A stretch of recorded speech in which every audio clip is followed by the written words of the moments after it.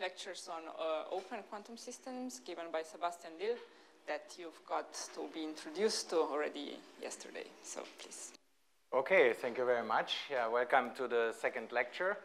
I mean, as yesterday, I, I, remind you that, I mean, asking questions is really, really uh, very much desired, especially in, in view of, of slides that uh, tend to go too fast, so please always interrupt me. Specifically, today's lecture yeah, will start with a few, I mean, technical wrap-ups for this uh, Keldysh path integral, and then we'll, I, I want to put forward some applications that illustrate, yeah, so uh, how uh, the microscopic breaking of equilibrium conditions morph to large-scale observable phenomena.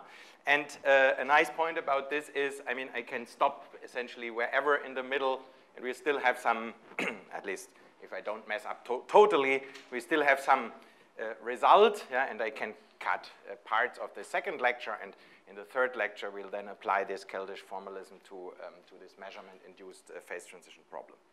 So please ask questions.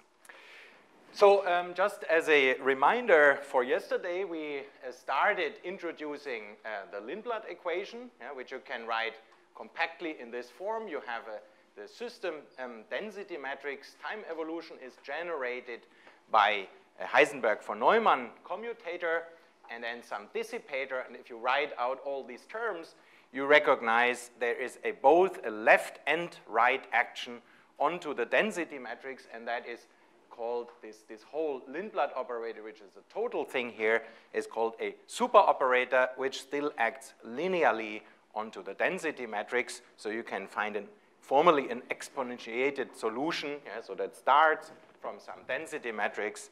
Uh, that's again here, yeah, and then evolves this density matrix on two time strings simply because we need to transform every of these indices of the matrix over time. Yeah? So as in unitary evolution of a density matrix, this structure of two times, uh, I mean, sorting out of a density matrix generalizes um, to the open system evolution, as you can see here, yeah? left and right action. And what we then did was this um, Keldysh path integral construction where the result is um, shown again here, just as a reminder, and in particular, I want to remind you of this fact that the action, the left or right action on the density matrix is remembered in the Keldysh path integral by an additional index, yeah, which labels the contour, which labels the side on which the original operator was acting onto the density matrix. And you see here really nicely the structure that is written up here in the operatorial formalism really pops up again in this um, Lindblad um, action, if you like, uh, th that's written down here. Yeah? Precisely with the right prefactors that um, guarantee, for example, the probability conservation. Okay, and then we started with a few uh, structural uh, developments. First of all, we discussed um, the um, issue of probability conservation in this field theory and although this sounds like very technical, I mean, of course, probability conservation or unitarity of quantum mechanics is really a very important symmetry of any physical evolution. And we use that here in the context later to motivate the operation of uh, the Keldysh rotation, which um, starts from the observation that the Keldysh action, unlike many other actions that you encounter, for example, for equilibrium problems, has the special property that it vanishes when we evaluate it on a configuration where we pin the configuration on the plus and on the minus contour to be the same. So then this action vanishes, and that motivated actually to introduce other coordinates to parameterize this action, not in this plus and minus contour basis, but to switch to a basis yeah, of center of mass and relative coordinates called Keldysh rotation, this operation, and the fields that are coming out of this uh, rotation here are called classical and quantum fields. They have the property, that then the probability conservation property takes this neat form here that if we set one field to zero, namely the difference between plus and minus contour, then the action vanishes. And the interpretation of this field was that the classical field here can condense Yeah? It can acquire a finite expectation value, a field expectation value, so it can describe a spontaneous symmetry breaking phenomenon, while by construction, yeah, since the average of the since the um, average of the field inserted on the plus contour and on the minus contour yields identical averages, the quantum field can never acquire a finite expectation value, and that motivates this uh, denomination quantum field, a field that cannot uh, condense, that can just fluctuate. Good. Um, so this is also a good preparation yeah, to now step by step include uh, or try to understand or get a feeling for this Keldysh action by, by step by step including fluctuations. Yeah? So one first um, thing is if you want to include fluctuations, maybe a good idea is to look at a limit where fluctuations are not very prominent. Yeah? So, and then we know what we are actually expanding about later on. And this is uh, what I uh, term here deterministic limit of the Keldysh functional integral. So we notice that um, probability conservation is the property that if we take the field, actually the field phi q exactly to zero, yeah, so then this is probability conservation. And now, so the zero order uh, expansion in the quantum field is just probability conservation. Now I want to make the point that the first order expansion of the Keldysh action in terms of the quantum field here um, leads to the deterministic limit. Yeah? So if we expand our action to first order in this quantum field, this will describe the physics of a single field configuration, in other words, a de deterministic limit of this problem.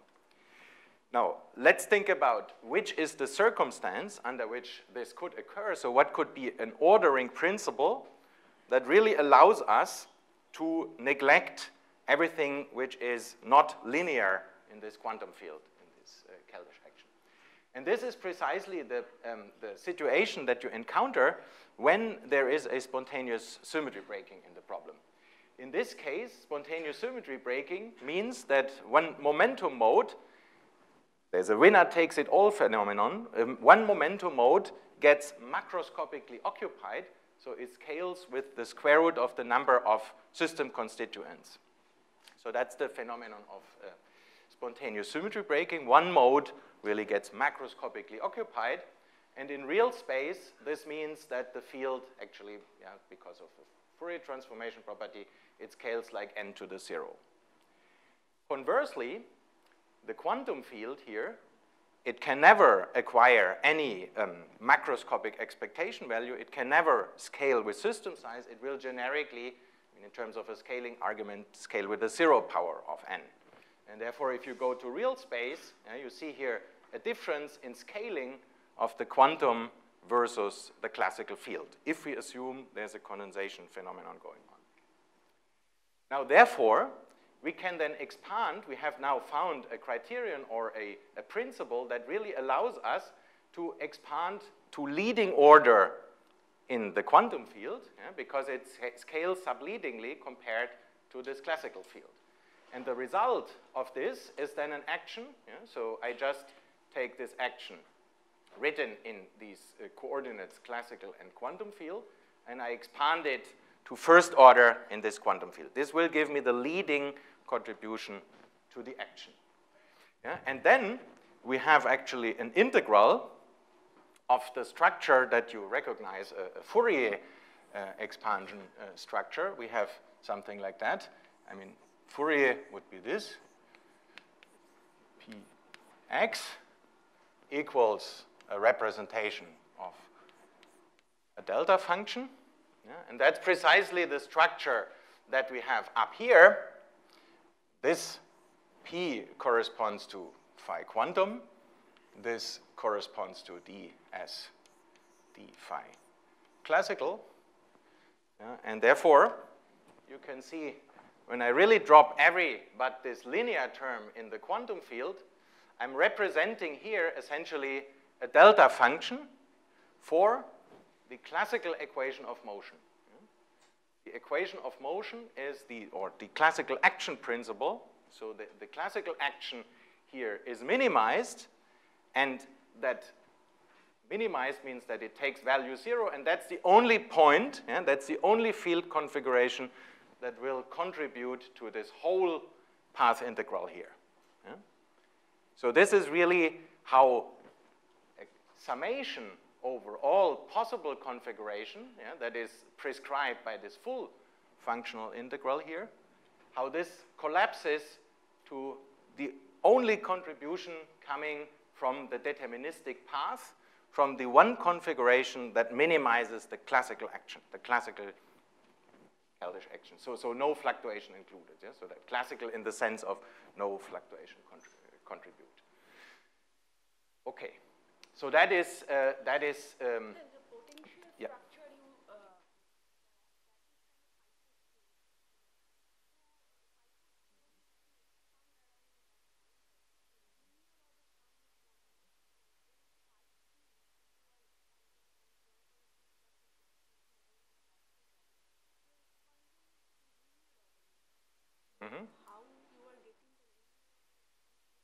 I, am not assuming any specific form of the action here. Yeah? So we are looking at a very general theory, and I'm essentially deriving the classical action principle, if you like. Yeah? So, and it's only valid, yeah? so when we have an argument why we could truncate the full action to linear order in this quantum field. And that the intuition is really when we have a, a, a condensation phenomenon, so this is really then one, precisely this condensed field configuration gives the dominant contribution to the path integral. It's, it's, it's less than the saddle point approximation. Saddle point usually means you look at quadratic fluctuations. This is even less. Yeah? So I, of course we get to that, but I think it's always good yeah, to have a kind of intuition for a starting point and then we, so, so now we are looking at this black path, and then we'll explore also situations where other contributions contribute. Yeah? So we'll build around that limit. So there were two questions, yeah?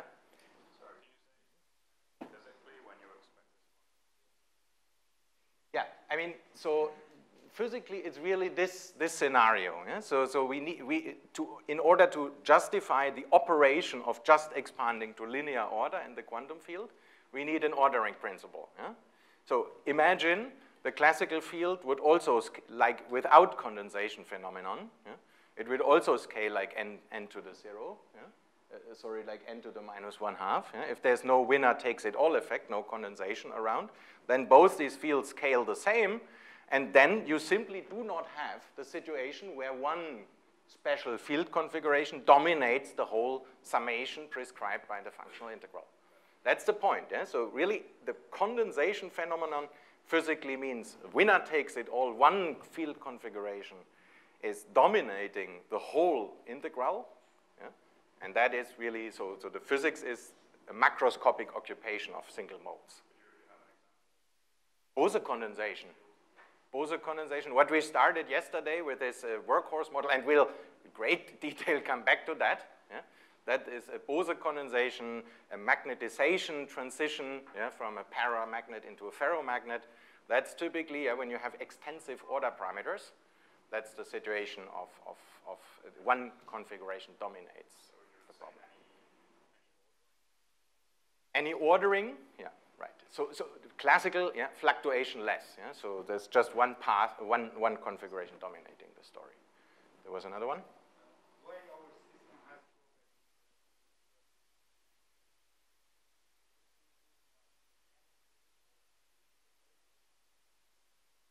The, uh, forgetting about the initial uh, condition is something that, sorry? It, in the initial density matrix, it, technically it comes from taking the time of the initial time to minus infinity. Yeah? Physically, um, the, the point is that, I mean, dissipation, yeah? so when dissipation is in the game, yeah, indeed, I mean, you expect the system go to, go to a stationary state, and we want to describe here the physics in stationary state, which is overriding any initial condition, right? So that's a, and, and, and so to say that the dissipative uh, tendon or couplings in the problem determine the, the form of the stationary state. That's one thing. Technically, it's actually not so trivial, but what you can do if you want to work hard, and one should do this, of course, once, you can take a damped harmonic oscillator and formulate really the initial value uh, as, uh, in, in this Keldysh formalism, and then you can see really that if you take this time to minus infinity limit, the, the information on this initial condition dies out exponentially fast, but the physics is really this, yeah? a damp problem finds a stationary state that is independent of the initial condition. Yeah?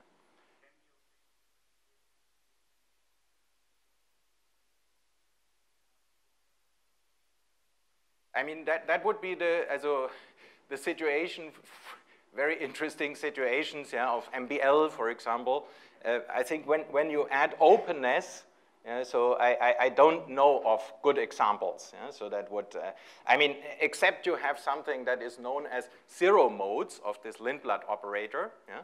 If you have a zero mode, meaning that uh, there is a state in the system that is really not touched by this, uh, by this dissipation, that does not decay.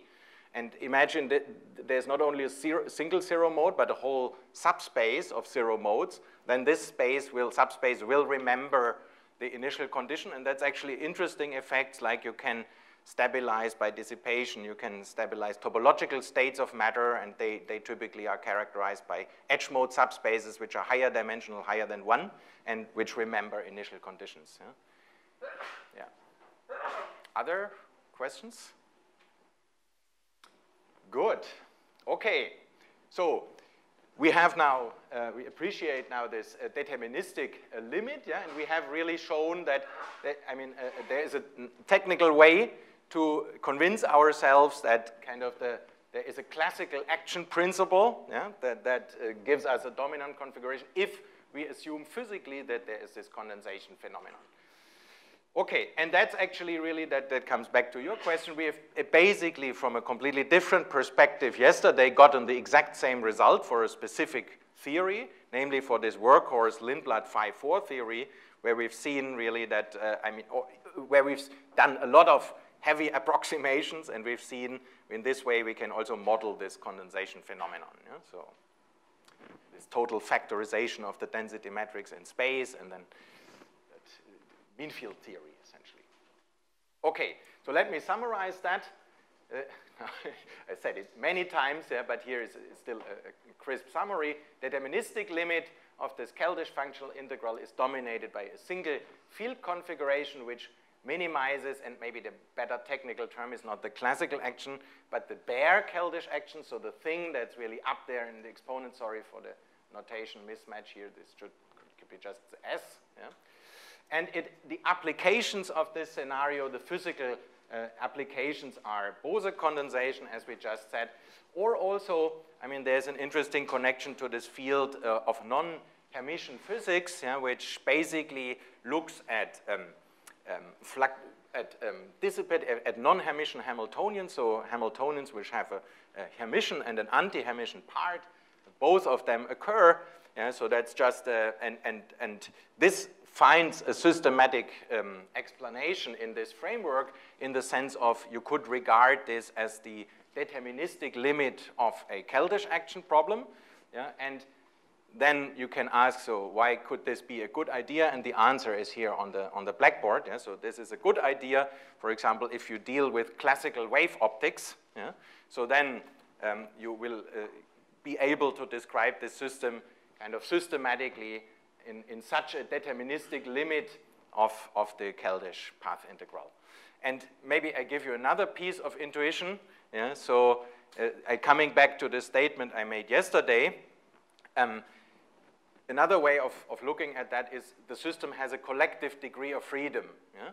So, and this is the circumstance, uh, when, when there's a collective degree of freedom, you can neglect fluctuations, yeah? and examples come from our classical world, like, like the damped harmonic oscillator. Yeah? So although formally this is not probability conserving, this dynamics, yeah? so you could add some noise um, to, um, to this damped harmonic oscillator. It's just not necessary because this uh, co coordinate that oscillates is a highly collective coordinate made of many microscopic particles, and the energy scale on which this oscillates, it's much, much bigger than kb times uh, the, the, Boltzmann constant times temperature, yeah, so that uh, fluctuations in this problem are really negligible. Yeah. So that is really applications, if you like, of the deterministic limit of this Keldysh functional integral. Yeah. Mm -hmm. Yes.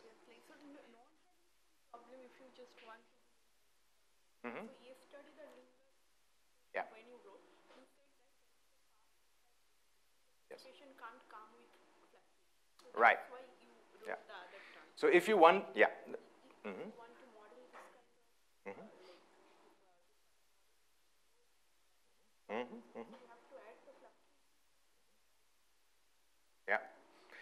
I, can give you the recipe. Yeah? So if, if I give you a, a Lindblad equation and you want to see what is the non-Hermitian Hamiltonian and when, first, and one, when is it justified? Yeah? So these, these two points are important to answer. Yeah? So then I, you, give, I, you give me your Lindbladian. I write this Keldysh path integral. I do this Keldysh rotation. I compute this. Um, I, I, well, first of all, I, I would have to, comp no? No longer. Um, I, I, compute this, this Keldysh action. I do this Keldysh rotation. And then I ask myself, well, in this problem, is there actually a collective variable in place? Yeah? For example, is there a Bose condensation going on or, I mean, is there a photon condensation going on? Classical optics is photon condensation. Yeah? And then you have a good reason to neglect the noise. Yeah? And you could, and then your non-Hermitian Hamiltonian is really basically um, uh, standing here, yeah, so it is, you get the time evolution for the field expectation value for the field, yeah, and on the right-hand side of this equation stands your non-Hermitian Hamiltonian, and that's the, mm -hmm. Do you have to set the quantum field to zero? Well, I mean, here, we actually didn't set it to zero. We actually integrated it out exactly, yeah? So it was not a, I mean, the approximation was I can linearize the action in the quantum field. And then I recognize, oh, there's an integral prescribed yeah, from the Keldysh path integral over the quantum field. But since it only occurs linearly, I can just do this integration by using the, the identity of, I mean, the functional uh, re delta representation, or Fourier representation of a delta function. Yeah? And this delta function pins all the configurations of S phi c yeah, to 0, which is the classical equation of motion. It's actually really an exact treatment of phi c if the approximation of phi q in, in linear is, is justified. And there we need some physics to justify that. Okay, more? Good. So then we come a bit to fluctuations. Yeah? So classical um, field theory, so you could, can look generally of, at field theories in this way. It doesn't matter if Keldysh or some other field theory, but classical physics, classical field theories, they are really a single field configuration determines everything. So that's really a deterministic theory. Classical theories are deterministic. But quantum and statistical field theories, yeah, so they have this property, Keldysh or not, yeah, so that you really sum over all accessible, all possible field configurations yeah, beyond this classical path. Yeah? So they are, in this sense, probabilistic. Yeah? So there's a kind of probability weight associated to every of these other um, field configurations. Now, specifically in the Keldysh, we've now seen probability conservation, zero order and quantum field, deterministic limit, first order and quantum field, and now what about when we want to quantify deviations away from this deterministic limit. Yeah? And the kind of um, correlations that measure the de departure from the uh, deterministic limit, they come in two flavors. One of them, because now we have these two field variables, if we want to look at it purely mathematically, yeah? we have what is called correlation functions. They measure the strength, the picture is they measure the strength of fluctuations away from the deterministic configuration, and they are sort of encoded in averages of this type here. Yeah? In the deterministic limit, yeah, as we've seen, yeah, so every information is just in the field expectation value. So then uh, in the deterministic limit, this factorizes, and whenever you find a deviation from this factorization, you can know, you, you know that must be the effect of fluctuations away from this deterministic limit. The other class of um, correlation functions, yeah, so is uh, what is in the context of the Keldysh path integral known as a response function. Yeah, so this uh, describes the impact that's really a structurally different question you're asking to the system. Here you're asking how strong is the impact of an external perturbation. Yeah? So this is a system intrinsic property here, measures how strong are fluctuations away from the deterministic limit. This thing here will give you an answer. I put an external probe field, and then I want to know how the system reacts. That's the response function. Okay, and now I give you the prescription, yeah, how you can compute these two objects and hopefully along the way still get a little bit more intuition about them. So to this end, what you do, you introduce source terms. As maybe you're familiar from that with in statistical mechanics, you introduce source terms yeah, with the idea that you can use these source terms here to generate correlation functions. Yeah? You, if you take the variational derivative of this object here, or maybe written in this Keldysh basis here, you can see, aha, I get the phi c down, downstairs in the expectation value by just taking a derivative with respect to j quantum star in this case. Hmm? So this would give me, generate me um, the, the field expectation value, and then we can go do more. Yeah? We can take more derivatives. For example, we get what I introduced as the single particle response function by taking another derivative, however, now with respect to this JC field yeah, in, the, in this basis. Yeah? And you can see, aha, uh -huh, indeed, this is the structure I was announcing on the previous slide. And you also have hopefully a little bit of intuition now yeah, what, what this correlation, this uh, abstract uh, correlation function here means. Well, it just means I have this expectation value, and now I wiggle a little bit with an external field JC, and um, to linear order, yeah, I get this correlation function. Yeah? So this is linear response theory in this Keldysh formalism.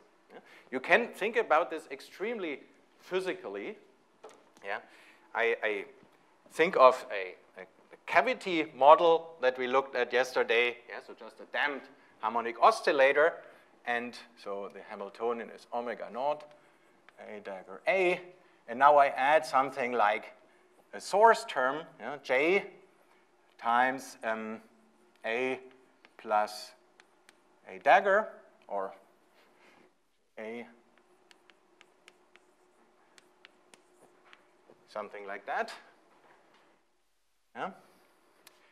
Then I do a Keldysh, uh, then I, I, transfer this into uh, Keldysh action, yeah, and I get, uh, in terms of the Keldysh action for this term here, I get integral over t, j plus a plus Hermitian conjugate minus j minus a minus. And now I say, okay, this should be really, this j should be an external uh, physical source, yeah? so it should not carry uh, a Keldysh index here. And uh -huh, now you see, so this is, let me, this is the classical JC, and now you see, okay, this is indeed JC a plus minus a minus. Yeah? So a classical external source, a real field that I impose onto the system, it couples precisely to this a quantum field in the Keldysh path integral. So that is the intuition, a, a real physical classical external source. It couples right away to this quantum field, and that, that's exactly what stands up here. Yeah? Without uh, having any physical picture, we can go to this. But that's the physical meaning of this, um, of these responses. Okay, and then, I mean, as, a, as one more piece of information, yeah, you can, in a once and for all, a little bit tedious and technical way, which I don't do in the lectures here, you can also relate these correlators here of the Keldysh path integral to actually really correlators in the operator formalism. Yeah, so that's oftentimes useful in practical calculations here to know, okay, what does this object actually stand for in the operator formalism? There must be a one-to-one -one translation if you do everything in the correct way. And then as a piece of information that I give you, yeah, so it's precisely the commutator of fields for in the bosonic field case. Now, let's come to this other class of correlators that, uh, that I was uh, specifying, namely those with the phi c, phi c star. Yeah, so here I just go kind of by, uh, by the formalism here. How to generate this correlation function here? Well, I have to take the twice the derivative with respect to these quantum fields. And as a piece of information, yeah, so the best intuition I can give you for that is really that this measures deviations from the deterministic limit. And so we just try to find a way how to generate that in this formulation here. And then relating it to the operator formalism, it is not the commutator that it represents, it's the anticommutator that it represents. And if you evaluate the anticommutator at equal times, yeah, then this pre describes precisely how strongly states are occupied. So that's another interpretation of this correlation function, of the equal time correlation function.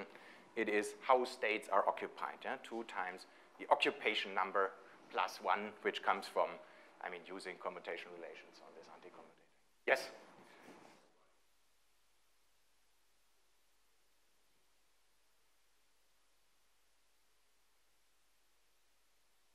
J is an external source here. Yeah. Mm -hmm.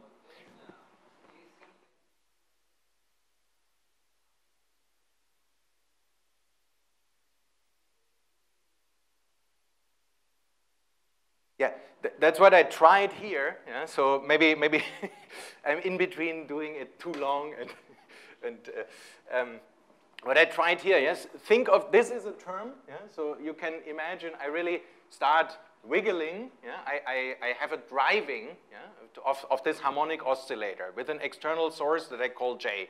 Often it's also called omega. If this is really a physical classical field, yeah, it will not undergo this construction on the plus and minus contour, of course, yeah, because it's a parameter for this theory and not a fluctuating, and not an operator. The operators, they get an index, because I have to represent them in terms of coherent states. But external fields are parameters, they don't get an index. Yeah? And I mean, if you then say, okay, I, I essentially, I'm, I'm only uh, going this term here. Yeah? If I pull this through in the Keldysh construction, then there is never an index, yeah?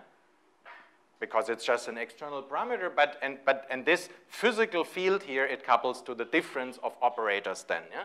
And that gives us then an interpretation of, now I'm, I think, too close, that gives us an interpretation of um, this more, more formal construction here, where I just, to, to be able to, to get all fields down by taking derivatives, gives us an interpretation of the classical component to this. Yeah? This, this, is really a physical field that I can wiggle, and the J quantum is an object that I just need in order for it to be able, say, to, to represent this correlator here as a functional variational derivative. Okay? That's the point. Yeah.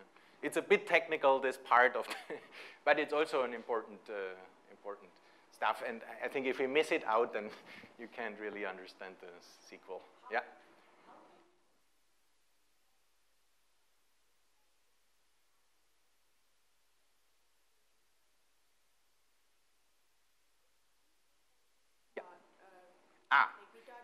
Yeah, yeah, yeah. Mm -hmm. Mm -hmm. Maybe wait a bit. We, we come to the structure that, that emerges uh, in the end. Yeah? So then, then we can get back to this question. Okay, right. Here we go. Yeah? So you assemble then, yeah? so we, we want to, in, in field theory, we want then to build a Green's function, and because of this two indices, C and Q, yeah, we should get a, a two by two a Green's function structure. Yeah?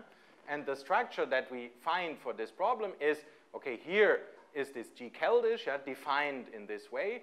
Then we have the retarded Green's function that we just put, put it here in the upper corner. And then there is the Hermitian conjugate to that, yeah, which comes when you exchange JC to JC star and JQ to star to JQ Q.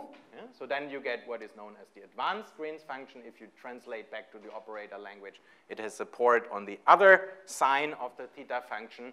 So these are relations that you can then pretty neatly see. I mean, I, I don't want to prove them all, but just give as a piece of information. So we have all details, if you like, in, in, in this review here.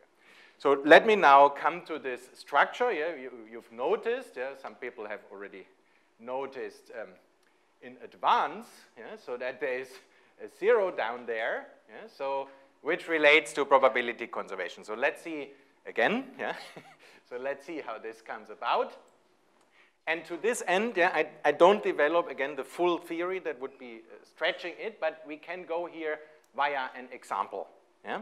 We get, just go via a simple example, and you take my word that this generalizes to full, full interacting theories in a spatial continuum. Yeah? But I, I, don't prove this here. Let, let's just see with an example. It gives you the right picture. So here what I did is I take this damped harmonic oscillator uh, master equation that we, uh, that we really carefully translated to Keldysh yesterday, and then I, I write it in um, these uh, classical and quantum fields. I write it out. You see here, oh, there is this zero, and this zero is precisely necessary as a consequence of probability conservation. I mean, it comes out from the, from the calculation, but it also must be like that because I have this probability conservation is the property that the action vanishes when I set the quantum field to zero, and that's why there has to be a zero in this corner because this zero pre-multiplies uh, phi quantum of t times zero times, if you stretch out this bilinear, yeah, it multiply, it comes, it, it is this uh, contraction of the matrix, yeah, so there must be a zero because otherwise if there were anything non-zero, yeah, so then I would immediately violate this property. Okay? That's how it is, yeah, and this is much more general than in the um, than in the, this simple problem because of this general property also there. And um, then we can go to Fourier space, and the claim is now that this object that stands here, these, yeah, there's a lot of notation now, the claim is that this thing that stands here is actually the inverse of the Green's function. Who is familiar with such a statement? Then I know how quickly I can go there. Who's familiar? Okay, I go mid-speed. then, so I, I think, yeah, I, I write down a formula, yeah, so that reminds you of this. Here is the inverse of a matrix, and this inverse is the Green's function of the problem. So um, let me do this in a kind of matrix notation. Yeah? So S, I write it now in general, some AB, phi A, G minus 1, phi B the start for a complex action, doesn't matter Keldysh or not. Yeah? And then we have the Gaussian integral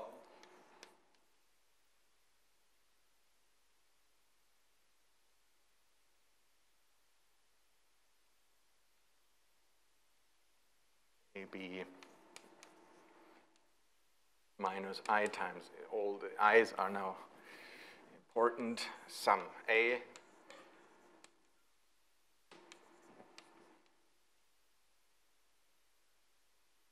Yeah? So this is, I mean, a matrix notation for the action in the presence of uh, sources. Yeah? So this A index is time, continuous time index, and Keldysh index, yeah? quantum and classical that I'm representing here. And the result of this integration, normalization times e to the minus a b g a b. Yeah? So the inverse of this matrix here with n the normalization given by the determinant of g minus 1. Okay, so that is, the, that is um, how we can convince ourselves that indeed, I mean, this object here is the Green's function because we can, I mean, for the simple harmonic theory here, we just do this integral here. That's precisely what I just did, what I just did. Yeah, so this average here, there, there's, uh, I have the, this quadratic action standing here, and if I do this integral, no, doesn't want, then I get here the inverse of this G minus 1 matrix, and then I can argue, okay, this is our definition of the Green's function in terms of variations of the partition function with respect to these external sources. And on the other hand, I, so I can act with these derivatives on this formula, or I can act with these derivatives on this formula after I've done the integration, and then I get, you know, by, by, then this g function comes down. So this tells me indeed this relation. This thing here is precisely the inverse, uh, is the Green's function, and the inverse of the Green's function occurs here as the action kernel. Yeah? Good. So summary of this, yeah? we write the inverse Green's function, we write it not really willing. We write this kernel like this, yeah? with this, no, oh, it's totally random stabilized again. We write the inverse Green's function in this parameterization yeah, with this P, A, P, R, P, K, and the zero representing probability conservation. And then we invert this object, yeah, just do it mathematically. We see, aha, the zero that pops up here shows up down here. Yeah? And this precisely tells us now the interpretation of this zero, so the second variation with respect to the um, classical field here that is probability conservation again that implies this. Yeah? And, and again, I say this is, uh, I mean, now specifically done explicitly for a quadratic problem, but it generalizes to interacting theories, this structure. Probability conservation implies here is a zero. Okay, good. So let's go quickly with an example, and then we are through with the, with the technical um, developments. Uh, namely, I mean, if you want, for example, what is really a concrete example for a response function in the real-time domain, well, then, I mean, we can uh, compute the, um, the um, time, uh, the Fourier transform of the retarded Green's function in, in the frequency domain, and we find this structure here as we expect. Yeah, for a damped harmonic oscillator, there's a decay with rate kappa, and on top of it, some oscillations with frequency omega naught that shows up here in the oscillator. The imaginary part of the frequency uh, domain uh, Green's function is known as the spectral density for the problem, and for this um, damped problem, the spectral density is just a Lorentzian function. This is also something that you might recognize from other formulations of, of physical problems. And when we come now to an example for the correlation functions, yeah, and we specifically look at the correlation function that equal time, I was saying this gives us the occupation of this mode. So let's do it for um, this damped cavity. What's your expectation? What should be the mode occupation for this damped cavity? How many particles are there in the cavity in the infinite time limit? Particle density there, the, the occupation density expectations. I guess there should not be much left. Yeah? If I just have a decaying cavity, we expect certainly that there's no uh, density left. And indeed, this comes out of this calculation. Yeah? So here we understand that this equal time Keldysh-Green's function is 2 times the occupation number plus 1. And if you go through the calculation and just do this integral here, you find, aha, this is indeed 1. So this means that the n, the physical expectation value is, is really zero, yeah, totally in line with expectations. So summary, the correlation functions encoded in G Keldysh here, they give us statistical properties, how modes are occupied and how strong are deviations from the deterministic configuration. And the response here gives us what is also known as spectral properties. It tells us how, so to say, a system responds when we hit it. Yeah? So then you will see some oscillations, and these oscillations damp out. So that's the interpretation of these quantities. Okay. Good, so now here you see how slow we are, but that's totally fine.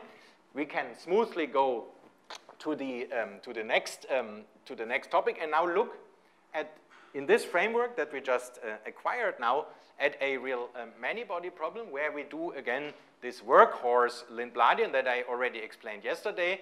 So it's a many-body system with a Hamiltonian with kinetic energy and with interactions. And we have then in the dissipative sector single particle pumping, single particle losses, and two-body losses.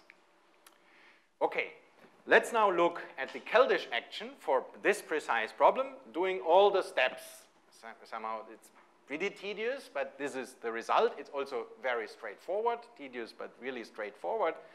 This is the structure of the Keldysh action in the uh, after Keldysh rotation that we get out.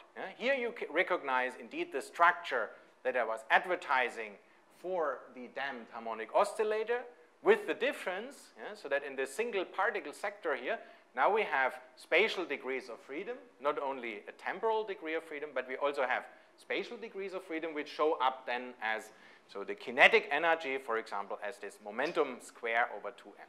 Yeah? We also see yeah, so that um, there is decay parts in the single particle sector. So this is the single particle loss rate. This is the single particle pump, single body pumping rate. And then on this uh, Keldysh component here, we have also these two scales showing up with the interesting point, yeah, so that in this um, PR Keldysh uh, Green's function, the difference of loss and pumping occurs. And in this uh, PK sector, just as an observation, the sum of them occurs. Yeah? And um, so let's get a bit um, into what this physically means. I want to do two things now. I want to um, use actually this asymmetry that occurs here to do simplifications in the limit yeah, that this uh, loss minus pumping parameter here becomes very small. So this means that we pump the system as strongly, almost as strongly as we lose particles, and this intuitively gives you, the, gives you an instability of the system. Yeah? When you pump harder than you lose, then in the end you would pump in as many particles as you like, but physically, remember we have the two-body loss in the problem. So this will give us a stable uh, situation where the, the pumping, this over-pumping of the system is actually compensated by two-body losses and gives us a stable state of matter. Yeah? But upshot, yeah, whenever I make this parameter small, I'm tuning myself close to a phase transition, close to an instability to, a, to this condensation that we already studied yesterday. So, and, and this, mathematically, this will allow us to take a limit of the Keldysh path integral, which is more intelligent than the deterministic limit. It's more than that, but still doesn't have the complexity of the full Lindblad equation. Yeah? And it's a very close to a critical point. This is very often a very good idea. In generic situations, is a good idea. Yeah.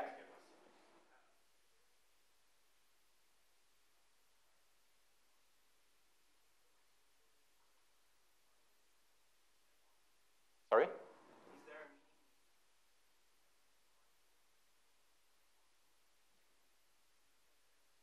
There's a massive meaning. Yeah? So it, the action has to vanish when phi quantum is zero. I can never write a term which is purely, so it's, it's this relation that stands up there. Yeah? Very good observation, yeah? and it's precisely this. There cannot be a term which only has classical fields then we would violate probability conservation. Yeah? So it's, it, it, it's a very deep property that, that surfaces everywhere in these theories.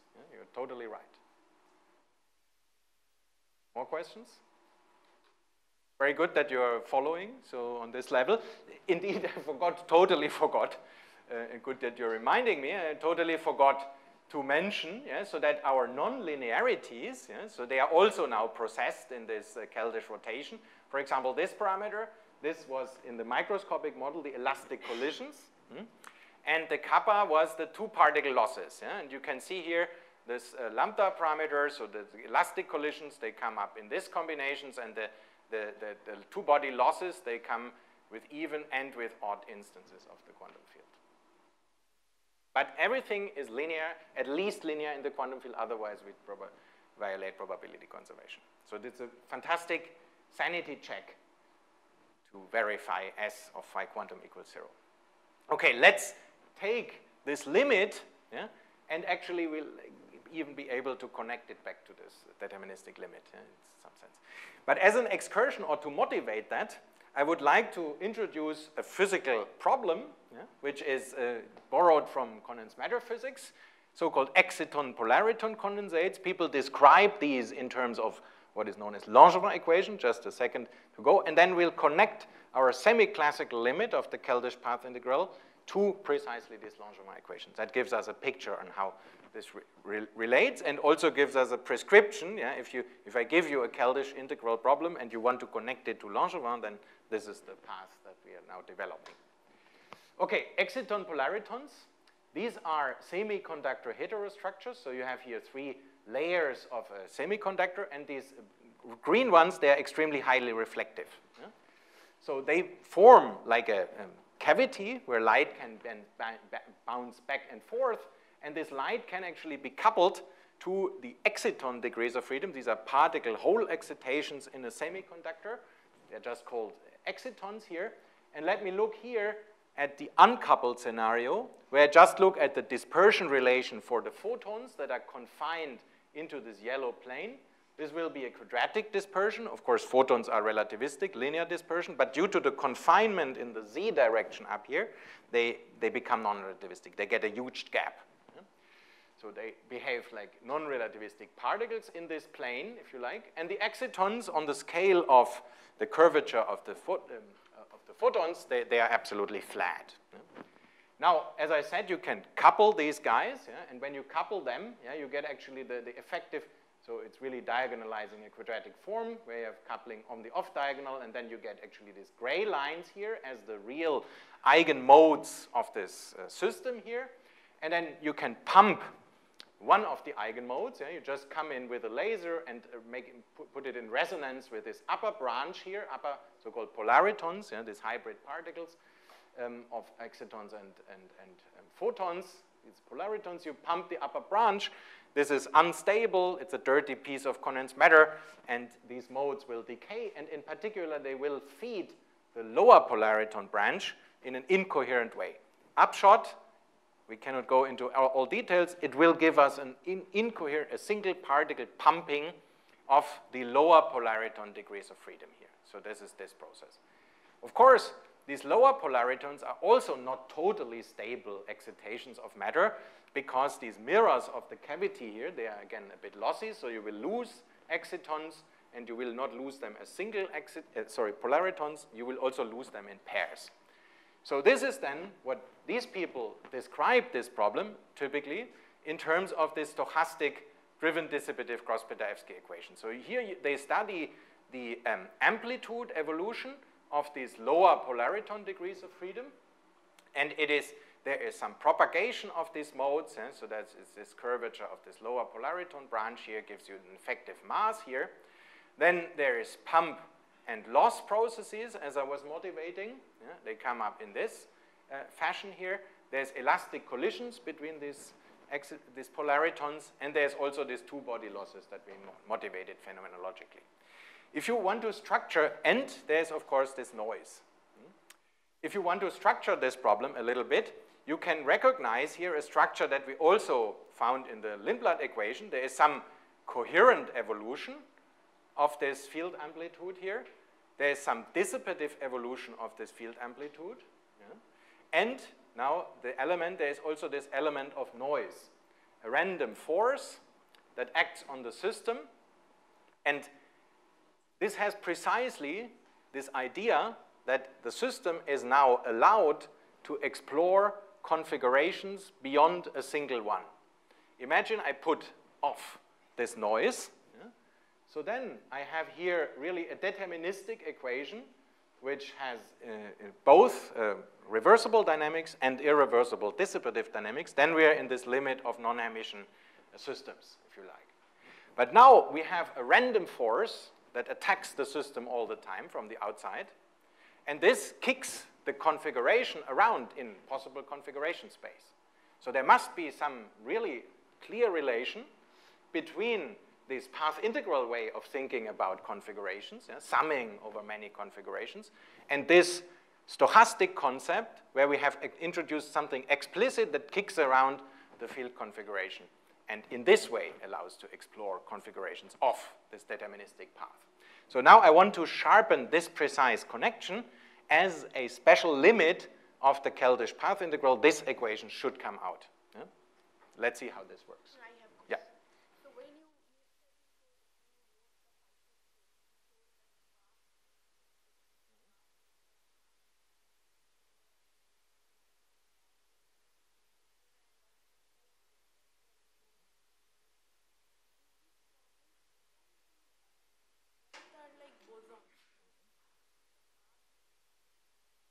Ah, none of them.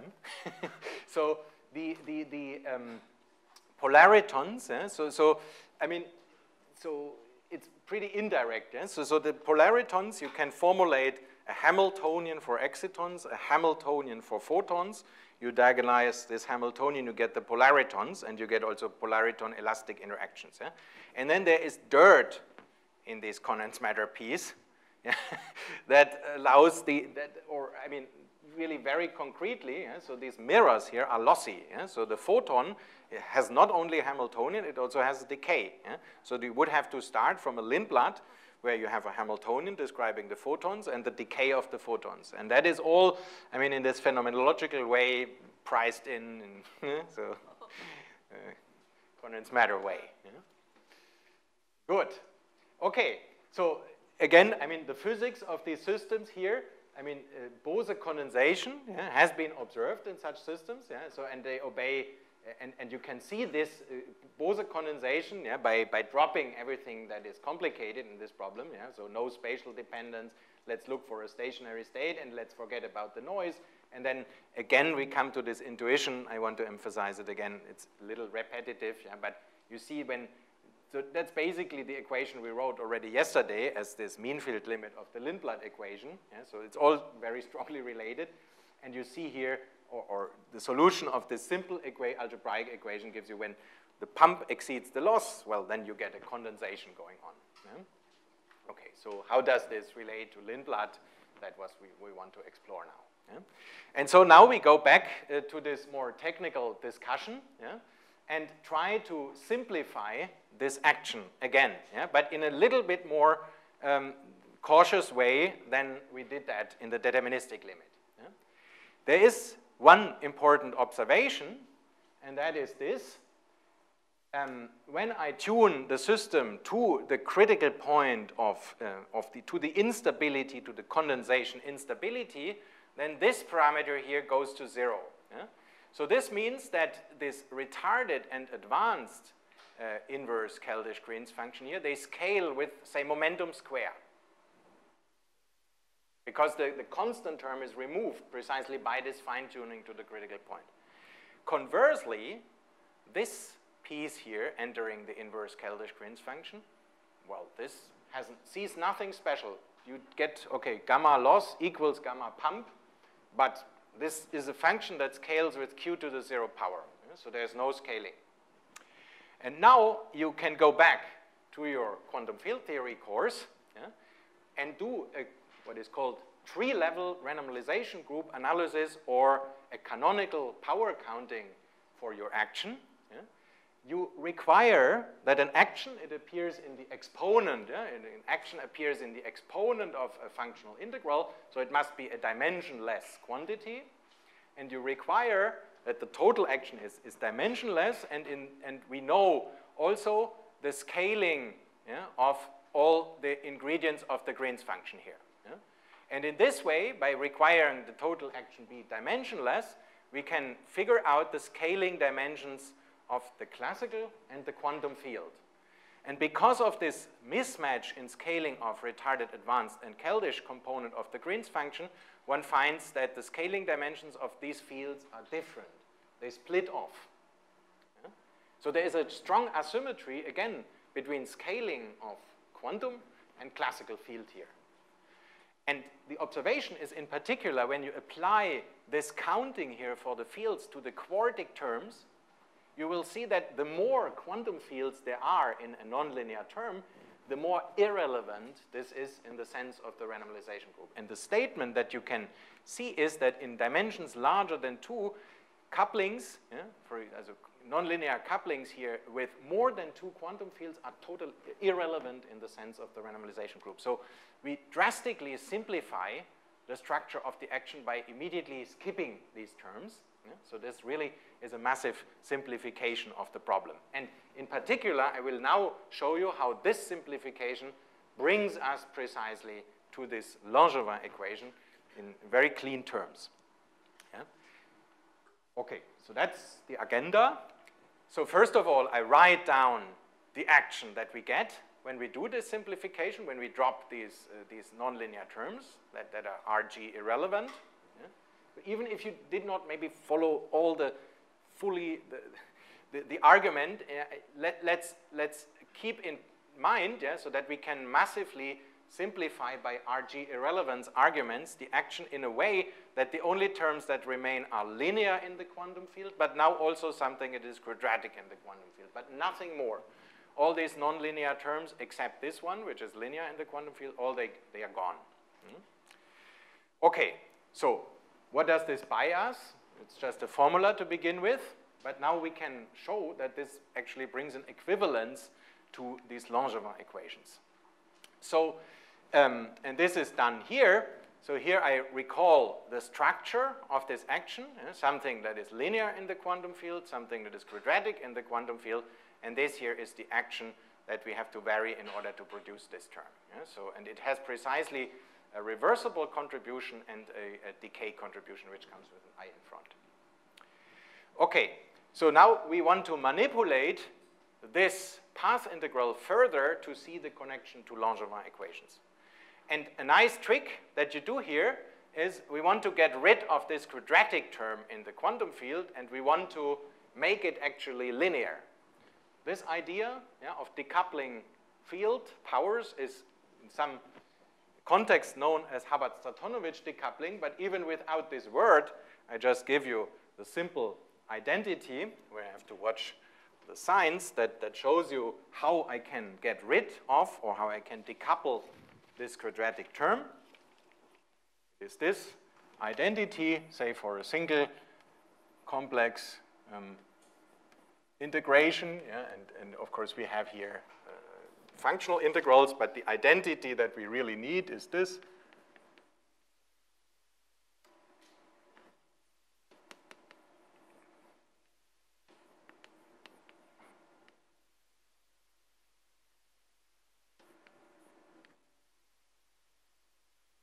So this is again a nice Gaussian integral with, when I do this integration, I get the result I, 2 gamma.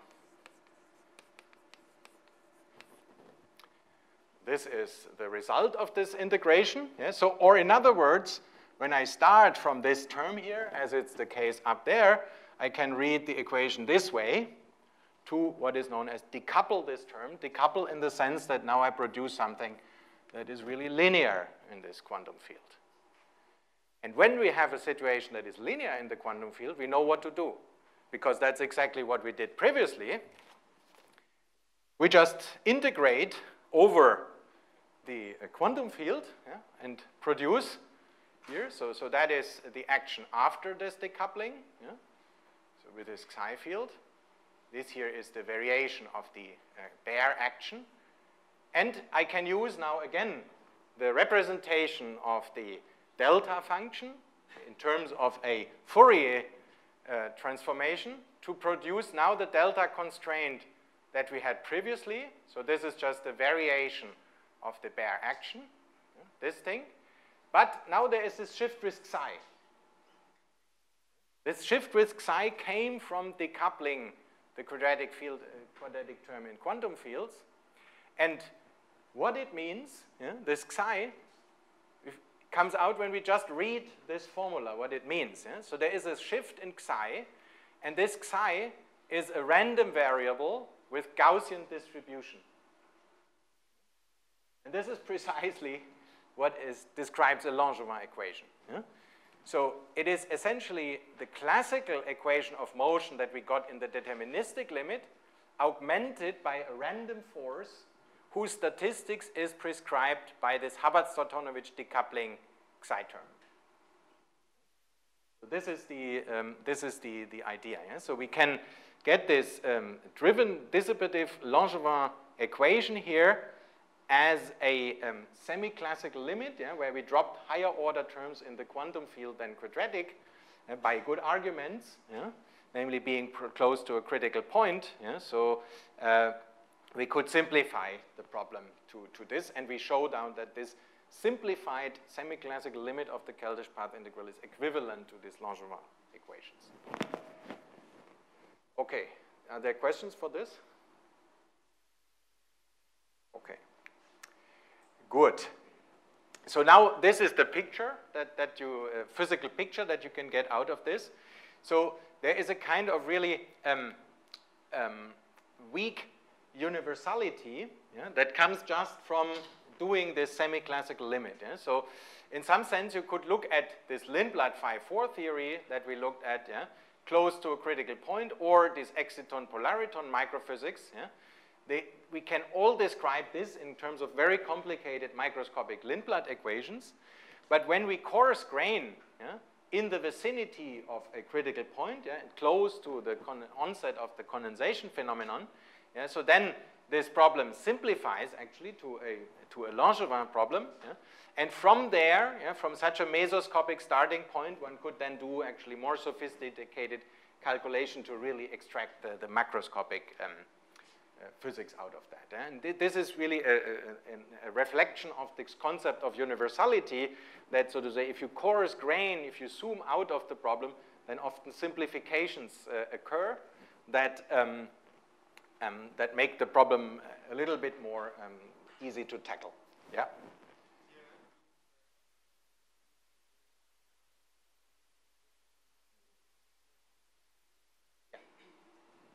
Right, I mean, so, so the, the question can be, now what did we drop? Yeah, so is this actually, so um, is this, uh, maybe you can formulate it, is it justified to, to drop these quantum couplings? Yeah? And you can, I mean, these arguments, they hold, I mean, on very general grounds, close to a critical point, yeah, except for fine-tuned situations, yeah, that, that this noise level also, also this P Keldysh has a zero, but let's assume this is not the case. And then you can ask, okay, if I, if I keep all these terms, yeah, for example, in an RG flow calculation, I, I don't know this argument, I haven't heard of it, so I keep all these other terms, what will they do? Yeah, so that's maybe a way of reformulating your question.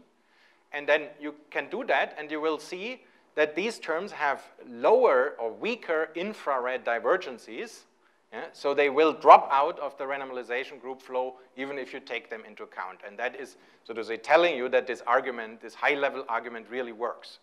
But you can also keep all these terms if you have very much time. you do the heavy calculation and you will see there is a fine difference yeah, in, in leading infrared divergences that are coming from these fluctuations, while these quantum fluctuations, they are really overshadowed by, by those. Yeah? So there is an interesting fine structure in quantum versus classical fluctuations, yeah, or yeah, so that, that are, um, under these conditions, you can really see the quantum fluctuations are suppressed.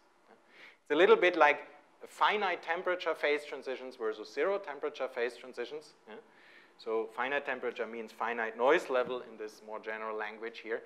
And of course, it's interesting yeah, to look at also a situation where this is manifestly violated. This is the analog of quantum phase transitions that also exists in such systems. But I mean, that's now, I can't discuss everything. Further questions? Yeah. Mm -hmm. Mm -hmm. Mm -hmm. Yeah, that's also a very good question. Yeah, so you can formulate it quite generally. Yeah, so what is, um, which concepts of physics yeah, translate to this out of equilibrium realm and which don't? Yeah? And if you think about a spontaneous symmetry breaking, it is a concept that works in and out of equilibrium no matter. Yeah? So there is a laser, yeah? A laser lasing mode is a spontaneous symmetry breaking of phase rotation symmetry. Yeah? So this concept has nothing to do with in or out of equilibrium. And, and therefore, yes, of course, it's just a matter of, of how can we see that in this formalism, that uh, there's a spontaneous symmetry breaking phenomenon. But this is not, I mean, spontaneous symmetry breaking, it's one mode gets macroscopically occupied, that's exactly what happens in a laser, so there's, it's not conditioned on equilibrium. But it's actually an, a good thing yeah, to, to always think, yeah, is this effect, is this question I'm asking very specific to equilibrium or not? Further? Good, so this is the wrap up of this section here. Yeah, so, so what, we, what we did essentially, so we went along this line here. Yeah? We started from the Lindblad equation and we mapped it into this Lindblad-Keldysh functional integral. Yeah?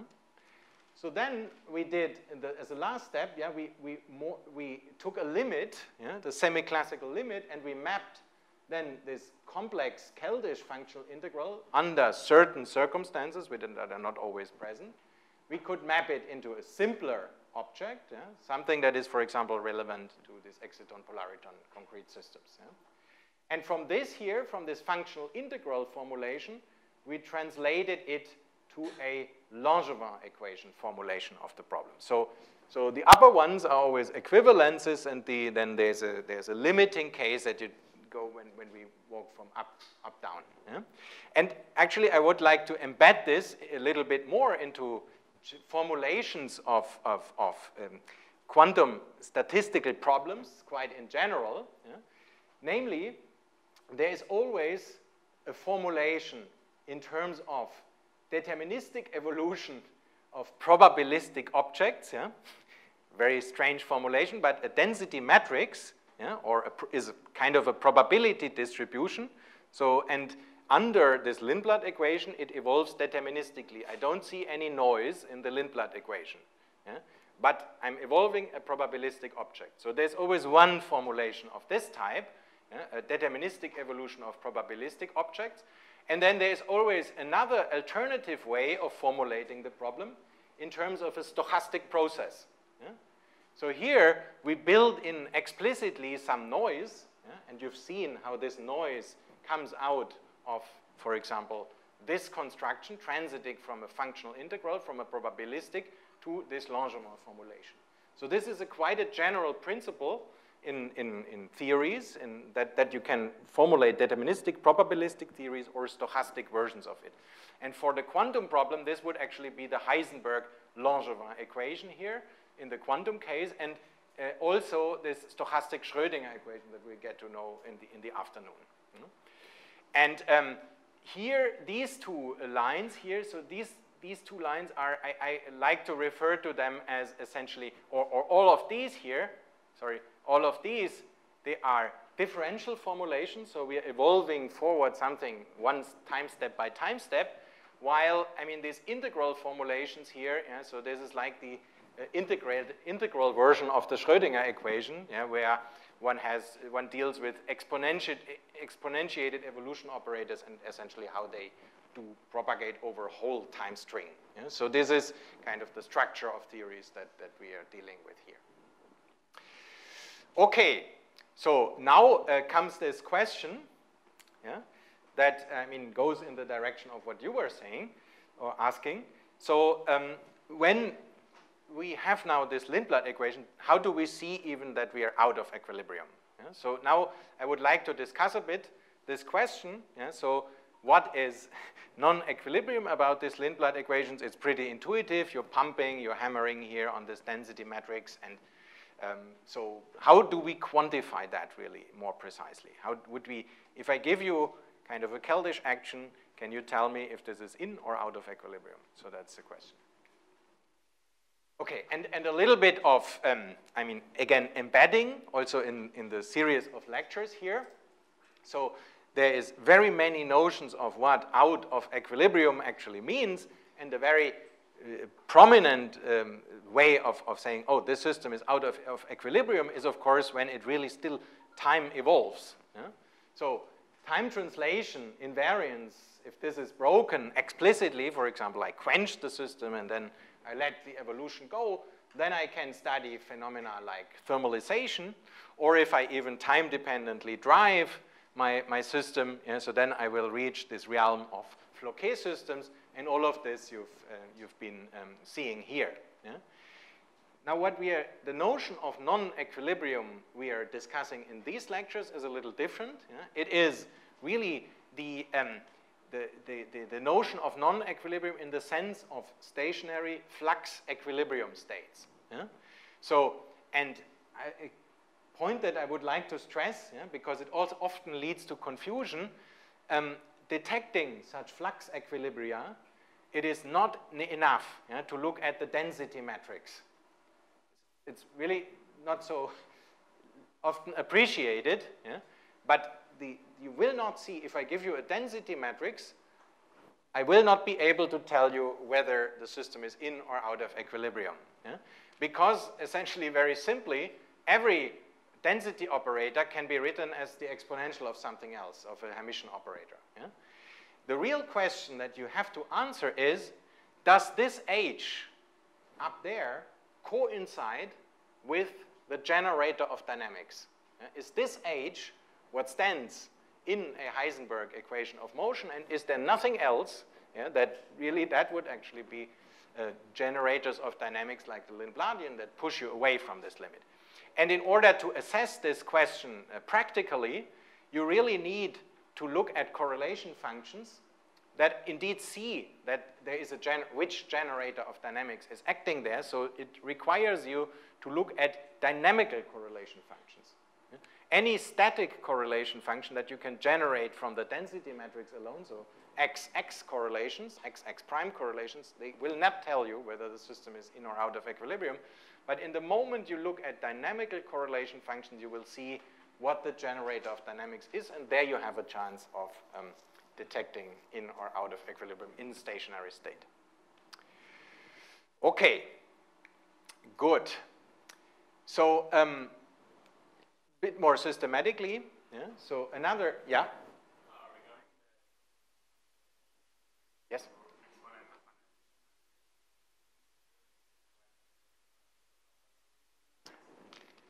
That's a very good point. Yeah?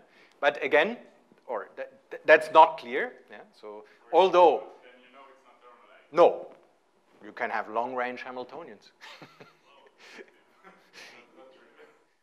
not really. I mean, no. I, I think I mean locality of the Hamiltonian is a natural property, and um, that that's an argument that, that is often often said. I can just give you an opinion. Yeah? So, so I mean, so I mean that it can be that out of equilibrium this H is highly non-local. Yeah? So that, that the density matrix, I can represent it always as I said, yeah? but maybe then out of equilibrium, this H is always non-local. Yeah? I just say this is not a good watershed because first, there is long-range Hamiltonians in equilibrium, and second, I don't know many good examples that this Hamiltonian really is non-local. Yeah?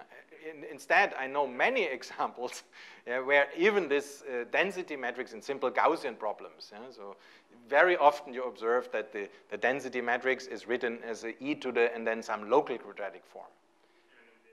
Even in the out of equilibrium. So I'm only I'm not saying it's it's impossible that it's long range. I'm just saying it's not a good criterion because there's always counterexamples of. Yeah.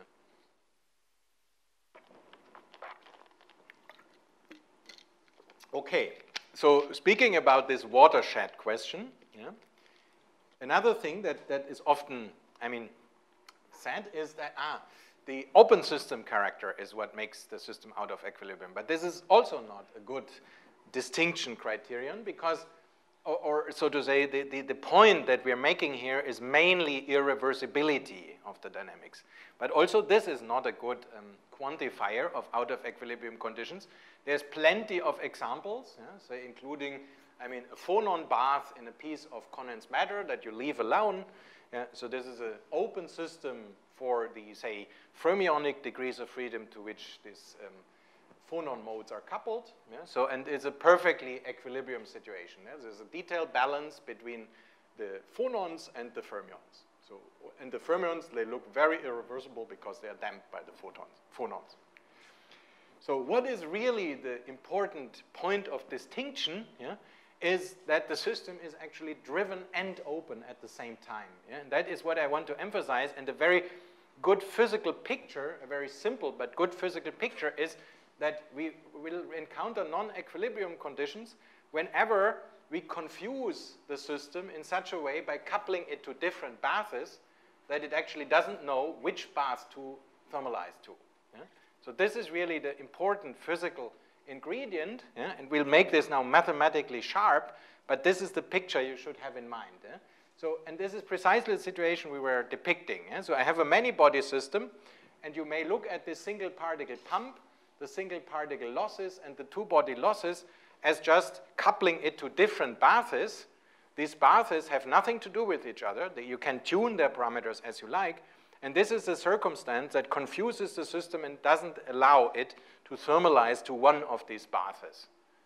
And that, that is, I mean, how I would qualitatively see, aha, this is really a driven open system yeah, we have, where we have different, different uh, dynamical resources acting on the system which don't allow it to thermalize.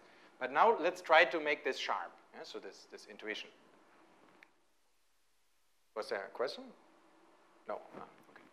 Um, right. So um, we start again from this uh, Keldysh functional integral. And um, we look at the situation now where we switch off this dissipator completely, just for, for the sake of, of understanding something. Yeah? So then we reduce the problem to a Heisenberg evolution. We can still path integral quantize that. Yeah?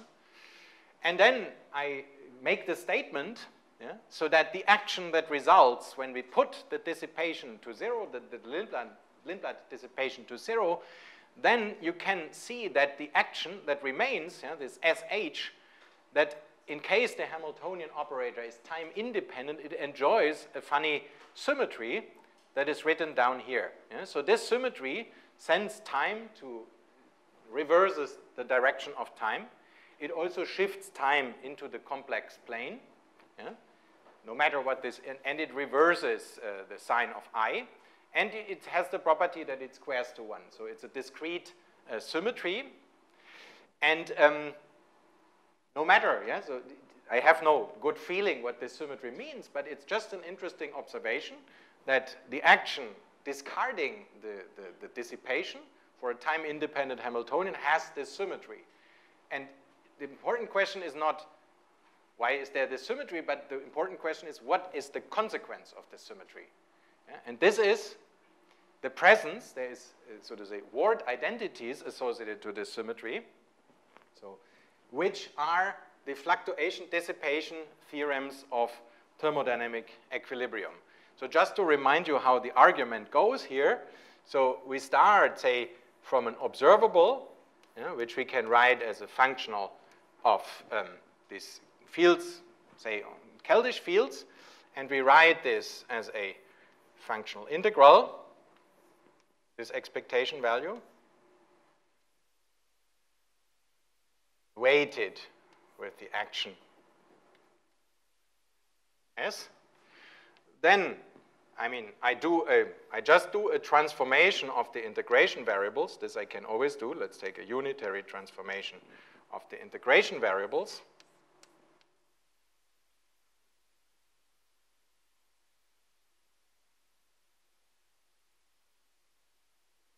And we speak of a symmetry under the following circumstance. First, the action is left invariant under this transformation T, meaning S of T phi is the same as S of phi. And also we require for a symmetry in a quantum field theory that the functional measure is invariant under this transformation. And then we can actually go back to this formulation to see that the consequence of a symmetry of the action is an invariance of this observable O. Yeah? O, symmetry transformed, averaged with respect to the action that is symmetric, gives the same as the action, uh, as the observable without this transformation applied. And if you do this idea, if you implement this idea just for this funny symmetry transformation here, you find this relation here between correlation functions, yeah? correlation and response functions. And that is really, so this O would be the phi c, phi c, and the phi c, phi q. Yeah? So, so this O is just some polynomial of, of the fields that are in this, in this problem. And um, this idea of having this symmetry implies a strict relation between the correlation functions that we discussed, yeah? so the measure of how, how far do we go away from a deterministic limit, and the response functions of this problem. Yeah? And universally, if this symmetry is present here, there is a relative factor between the Keldysh and the, uh, between the correlations and the response function, which is the Bose distribution function. Yeah? And this kind of emergent out of this symmetry consideration, we rediscover essentially the Bose distribution as the function that governs the particle occupation of a system, uh, of a bosonic system. If we would do the same for fermions, we would have not um, the Bose distribution, but the Fermi distribution function. Yeah? So systems at equilibrium have this symmetry, and that implies a very strict relation between correlation and response functions. Okay, and the point is, yeah, so whenever I take now a Lindblad operator, I check for the symmetry, it's not there. Yeah? So it's just massi massively violated, and that tells us, so, aha, I can just, you give me your action, and I will test for the presence of the symmetry. I don't know where this action comes from. I, I just have to test for the symmetry to be sure that um, the, the, system is not um, at equilibrium, yeah? or, or it is at equilibrium. Hmm? Because, I mean, maybe this, this piece here, yeah, so this uh, correlation and response function relation, yeah, so this holds beyond the single particle correlation, but it holds for any order, and so it is equivalent to, I mean, all subsystems being in equilibrium with each other, so the system really is in global thermal equilibrium. So this, this is really the symmetry be behind equilibrium conditions. Okay, questions for this? Yeah. Sorry? Any order means that, I mean, I, I can give you the, the, I write correlation functions of, say, third order in the field and response function of third order in the field, and there will always be a kind of relation yeah, for the whole hierarchy of correlation functions. Yeah? So it's really a property of total theory and not just of low order correlation functions. Yeah. Sorry?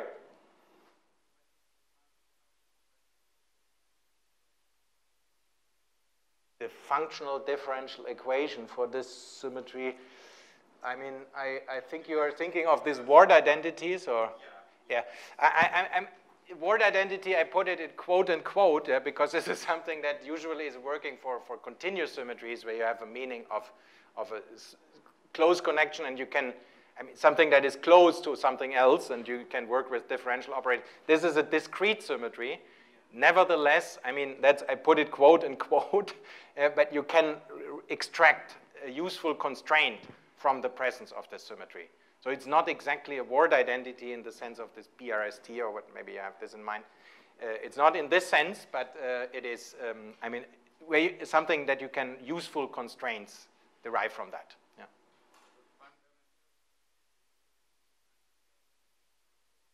No, no, no. I mean, we, we, we, we do this idea that I, that I gave you down there, we apply exactly this idea. And yeah. Mm -hmm. Just there's no, no infinitesimal representation for this. There's no infinitesimal generator for this symmetry because it squares to one. Mm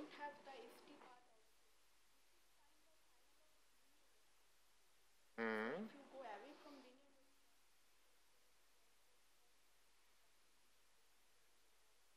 Um, I mean, if you like, you can look at this single particle Green's function as a linear response. Yeah? It's linear in these quantum fields. Yeah?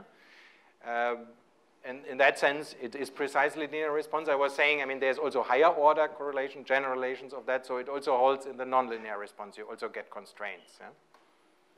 Okay. Good. So last thing I would like to do yeah, is the, um, the semi-classical limit of this uh, symmetry. Yeah? And here we can go again by, by this idea, okay, it, there is a shift in the complex time plane, which I can always write as uh, an exponential, as a kind of a generator that uh, does this shift for us. Yeah? And in the semi-classical limit, yeah, so intuitively this is, for an equilibrium system, this is large temperatures. So I can expand this exponential function here, and then I apply the symmetry transformation to this uh, Keldysh and classical, uh, to these Keldysh fields here. I do the power counting and I realize, okay, this occurrence of the quantum field is again something that is irrelevant in the sense of the renormalization group. So this transformation here is the semi-classical limit of this uh, equilibrium symmetry transformation. And I'm pointing this out because it has a beautiful and very simple geometric interpretation for this equilibrium symmetry. Yeah? So, and, and this comes here. Yeah? So point I still would like to make. So we have now this action yeah, with only linear and quadratic terms in the, um, in the, in the quantum fields. Yeah? And this action here consists of uh, reversible dynamics and irreversible dynamics coming with a relative i. Yeah? And uh, both of these reversible and irreversible uh, generators here, I can write them in terms of a Landau theory Landau expansion, yeah, where the most important term is quadratic, yeah, so, and it comes as a mass term, constant term, then there's gradient terms, and then there's interaction terms. And, um, but they come with this relative factor of i. Yeah? And so what I'm doing here, I'm plotting in a complex plane of couplings. Yeah? So all the couplings now have real and imaginary parts according to this here. I'm just plotting real and imaginary parts of these couplings in the complex plane of these couplings. Yeah? So for example, if we have now two-body processes, the real part of lambda of the two-body process yeah, is just really elastic two-body collisions. And the imaginary part of it is inelastic two-body losses. Yeah, so that's what we were describing. And so I make for the real part, I make a, a sketch down here, and for the imaginary part, this axis. Yeah? And now I go through all these parameters in this Landau-Ginzburg functional to get here a plot in, uh, of, of the complex couplings here, in the, couplings in the complex plane, where the real part is reversible and the uh, imaginary irreversible. And now comes the interesting point. If we have a system that is in thermodynamic equilibrium, so it obeys this special symmetry that we were talking, including in the equilibrium, uh, in the uh, in the semi-classical limit, then the implication of this symmetry is also a geometric one, yeah, in the sense that all the couplings, they have to be aligned on a single ray in the complex plane. While in a non-equilibrium situation, yeah, so I take a Lindblad equation, take the semi-classical limit, these couplings will just spread out somewhere in this complex plane. Yeah, and this um, has also a very good physical reason. Yeah? So imagine I have a system that is at equilibrium, and um, I have at the microscopic level then only a time-independent Hamiltonian as what generates the dynamics. Yeah? So then the picture would be this, yeah, in this complex plane of couplings. On the microscopic level, all the couplings, yeah, they are purely real because I only have a Hamiltonian generator of dynamics. So they must all be aligned on the real axis. Now I start to coarse grain this problem. I zoom out in an RG spirit, yeah? and it is clear that, I mean, even a system at equilibrium yeah, can show dissipation. Yeah? The system acts as its own bath. It wants to thermalize. And what this does in the RG language, thermalization, is kind of this phenomenon, yeah? so that these couplings acquire finite imaginary parts but the way they acquire these imaginary parts is not without rules. Yeah? You will never generate a situation, yeah? and, and, that's more a, a, statement that follows from this analysis than that it's obvious. But if the system microscopically has only a Hamiltonian generator of dynamics, then you will see that at all scales, yeah, the couplings will remain aligned. And in particular, at a critical point, you have even this phenomenon that it's totally overdamped, yeah, and all the real parts are going away. Yeah? So on the way from the microscopic to the macroscopic scale at a critical point, yeah, you lose completely the information of the microscopic reversible dynamics and the system becomes totally overdamped. And the most important point is really that in an equilibrium situation, so this equilibrium symmetry really tells you that um, all these couplings uh, remain aligned, while out of equilibrium, yeah, so this is not the case. And right, so that um, would bring me, I think I have to stop. I don't want to overdo it, but I, I take some questions. Yeah. yeah. Sorry?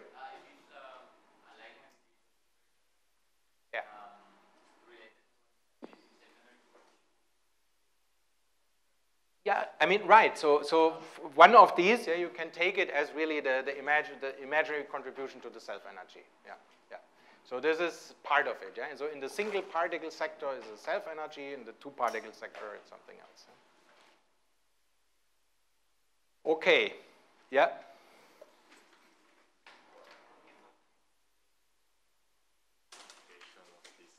Sorry? To me, it's not really clear what is the mathematical justification of this uh, consequence of equilibrium. The, what, what the uh, mathematical justification is? Uh, um, interpretation of the coupling, all, which are all aligned. Well, I mean, you, you can look at, I mean, you apply the, the symmetry transformation to an action yeah, in the semi-classical limit, and then you ask, when is the action left invariant? Yeah? And you find that it's only left invariant if all the couplings, yeah, so essentially it is this relation, if all the couplings are on one ray, or in other words, when this HC is proportional HD. Yeah? So, and HC and HD are really these complicated, I mean, are these, um, these objects yeah, that make together make up the action. So you can see that this action, it has a contribution from reversible and from irreversible dynamics, right? And each of them, I can expand them in this Landau spirit, yeah, in low powers of the fields. Yeah? And the statement that when everyone is aligned is the statement that these two functionals are really the same up to one common proportional constant. And this is the circumstance, only if this is realized, yeah, then the action is symmetric under this transformation.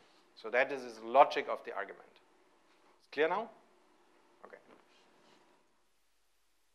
Yeah, let's say the last one because we are a bit. I think it's a bit stupid, but if there is a symmetry, I guess there is a charge which is conserved which not, not, no, only if you have a, a continuous, yeah? so the Noether charge. Yeah? So there is no, no Noether charge for that. Yeah? Not that I would know. I mean, as a not, we don't expect it. Eh, so. All right, I think we deserve a lunch. Right. We, sorry for going a bit over time. And and one thing, I mean, yeah, I'm not yet through with the physics application, so maybe I, I give a start with a little bit of that in the afternoon, and then we go to these measurements. Or I can also go on with this sphere for, for, for the rest. So what, would you prefer to see the measurement stuff or slowly through this? Um, yeah. So uh, other votes for measurement, say? So what are we voting for? Like, like say, I mean, so should I slowly go on with this, or should I briefly summarize some consequences of this and then move to the measurements? Okay, more on this. Raise your hands. Uh-huh. I shouldn't have asked, I guess. Whether I should go slowly yeah, on this line here, or I should uh, summarize this, and then we go to, to this measurement uh, business. So more like measurement-induced phase yeah, transitions right, yeah, in uh, maybe as an alternative point, uh, point of view as to what Sun Wan was explaining. Exactly, yeah. Right, I mean, so more a Keldysh formulation. Keldysh formalism, let's say, uh, point of view on this phase transition. Let's vote again. More on the, let's say, just open systems and application. Raise your hand. Well, okay, and more on the measurement-induced phase transition. Uh, the second one won. So. The second one won. So I will briefly summarize uh, this and then, okay. Thank you for your attention.